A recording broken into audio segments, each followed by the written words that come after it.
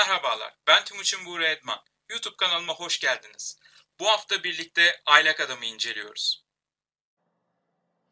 Yusuf Atılgan, İstanbul Üniversitesi Edebiyat Fakültesi Türk Dili ve Edebiyatı mezunudur. Milliyet Gazetesi ve Can Yayınları'nda danışman ve redaktör olarak çalışmıştır.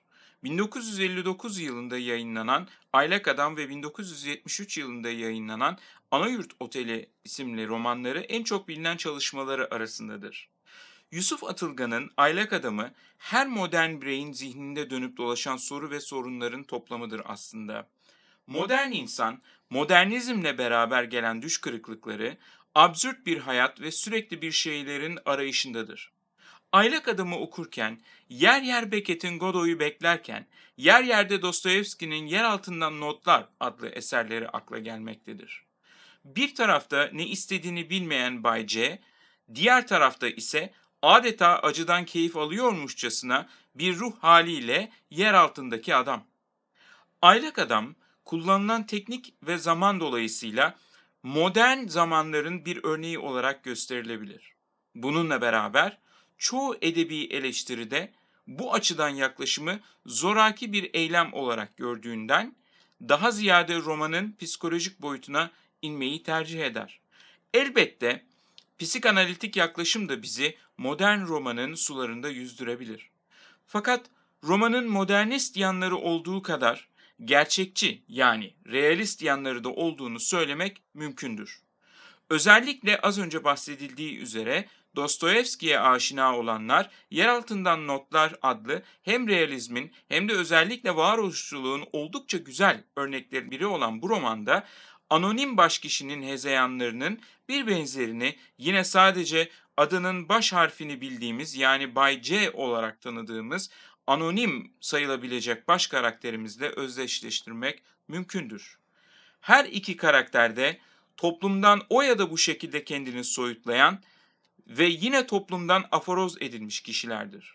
Bu nedenle Yusuf Atılgan'ın eseri modern izler taşısa da modernist diyebilmek için oldukça erken bir dönemde yazılan Dostoyevski'nin gerçekçilik ve varoluşçuluğun iyi örneklerinden biri olduğunu belirtmiş olduğumuz Yer Altından Notlar adlı romanına yapı açısından daha fazla benzediğini iddia edebiliriz.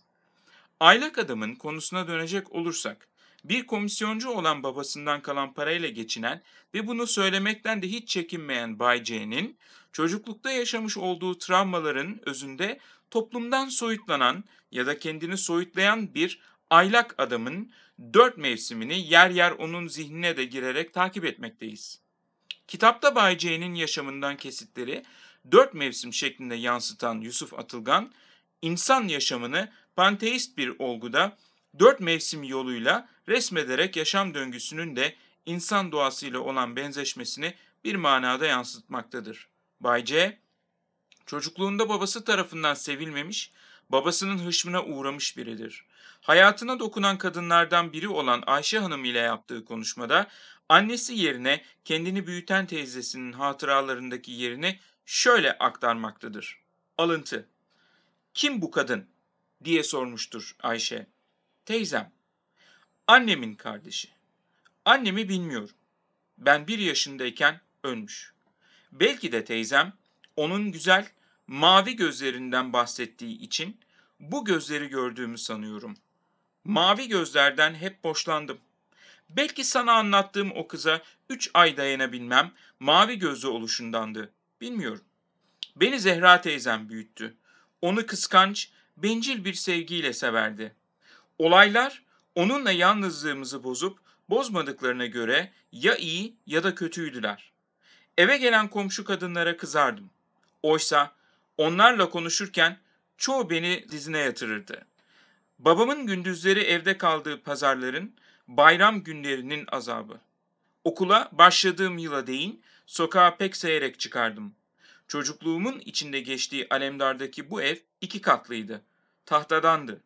Babam ölünce sattım. Alıntı sonu. Bay C'nin bir nevi ödipal kompleks tutulmasını yaşadığı açıktır. İsteyerek ya da istemeyerek Bay C'nin babasıyla olan ilişkisi Zehra teyzesini kıskanmasına yol açmış ve bu yüzden babasından da ölesiye nefret etmiştir. Hatta bir keresinde babasını teyzesi Zehra ile yakalayan ve teyzesini rahat bırakması için babasına saldıran Bay C, babasının hışmına uğramış ve babasının kendisinin kulağını çekerek yırtmasıyla cezalandırılmıştır. Hayatının bu döneminde yaşadıkları ileriki dönemde yaşayacağı travmaların ve soyutlanışın öncüsü olmuştur. Babasının teyzesinin bacaklarından hoşlanması, babasının bıyıkları ve yırtılan kulağı yaşadığı travmaları tetikleyen üç hassas nokta olmuştur. Bıyık bırakmaması ve bıyıklı erkeklerden adeta irite olması, bir kadını sevip sevemeyeceğini ya da ne hissettirdiğini anlayabilmek adına o kadının bacaklarının adeta Bay C için bir tabu olması ve zaman zaman mavi gözlü kadınları gördüğünde kulağının kaşınması ki muhtemelen kulağının yırtılan bölgesi kaşınmaktadır. Hep Bay C'nin çocukluğunda yaşadığı o travmatik anların hatırlatıcısı konumundadır. Teyzesi Zehra haricinde aylak adamın hayatında başka kadınlar olsa da en mühim iki kadını görmekteyiz. Birincisi Güler Hanım, diğeri ise Ayşe Hanım. Romanın en başında kendisini aldattığını düşündüğü Ayşe'den dert yakınan C'nin hem Ayşe'den hem de yakınında olan kişilerden dolayı ressam ve sanatçılarla arkadaşlığı olduğunu görüyoruz. İlerleyen bölümlerde Ayşe ile ressamlar üzerine yaptıkları bir sohbette Van Gogh isminin geçtiğini görmekteyiz. Van Gogh bilindiği üzere daha gerçekçi çizebilmek adına kendi kulağını kesmiş ve aynen buna benzer bir biçimde Bay C'nin de kaşınan kulağının romanda geçmişte yaşadığı travmayı sürekli canlı tutabilmek adına gözler önüne serildiğini görmekteyiz. Goh gibi sürrealist dünyasında aradığı kişiyi sürekli olarak şekillendirmeye veya somutlaştırmaya çalışan ama romanın sonunda o aradığı kişiyi bulduğunu düşünerek yoldan geçen bir kadının ardından bindiği otobüsün peşinden koşan ve taksinin önünü kestiği için taksici ile kavga edip en sonunda polise adeta kendini teslim eden Bay C, tıpkı Zeno'nun Akilleus ve Kaplumbağa mitinde olduğu gibi adeta gerçek ve rüyayı iç içe yaşamaktadır. Hayalindeki o kadının peşinden koşmaktadır ama ya onu bulduğunu sandığında o olmadığına karar verir ya da onu hiç yakalayamamaktadır.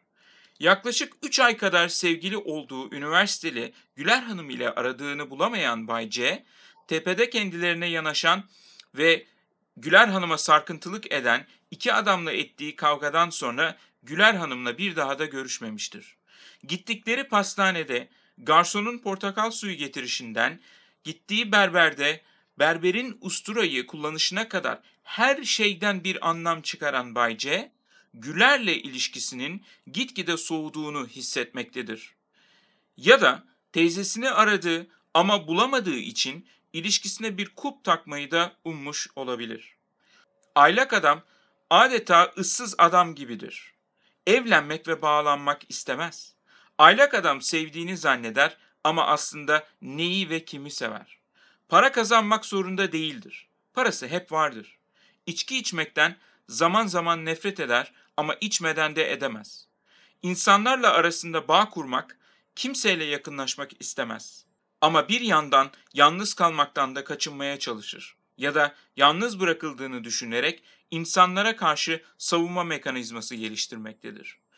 Ayşe Hanım'ın ilk başta kendisini aldattığını düşünerek çareyi ilk bakışta yolda gördüğü Güler Hanım'ı günlerce kah tramvayda, kah durakta, kah tatlıcıda ya da kahvehane köşelerinde bekleyen ve kovalayan Bay C, Güler Hanım'la ilişkisini onca emekten sonra kolayca noktalayabilmiş ve Ayşe ile kaldığı yerden ilişkisine bir yaz mevsiminde devam etse de adeta mevsim sonunda Ayşe'den kurtulduğuna sevinmiştir. Kendisi gibi herkesin yalnız olmasını tercih eden Bay C, Ayşe'nin bir annesi ve babası oluşunu bir şekilde sindiremez ve aile kavramı kendisini hiç mutlu etmediğinden Ayşe Hanım'la tam konuşmaya karar verdiğinde Ayşe durumu anlar ve kendisini terk eder. Aylak adam hep arayış içinde olacak ama aradığını asla bulamayacaktır. Belki de Bay C kendi varoluşunu aramakla kendisini tanımlayabildiğinden aradığını hiç bulamaması varlığını devam ettirmenin yegane yoludur. Dolayısıyla o hep bir şeyleri ya da birilerini aramaya devam edecek ama bulamaması sayesinde varlığının da devamını sağlayacaktır. Evet arkadaşlar bu incelemenin de sonuna gelmiş bulunmaktayız. Bu ve bunun gibi incelemeleri takip etmek adına kanalıma abone olmayı ve yorumlarınızı paylaşmayı lütfen unutmayınız. Teşekkür ederiz.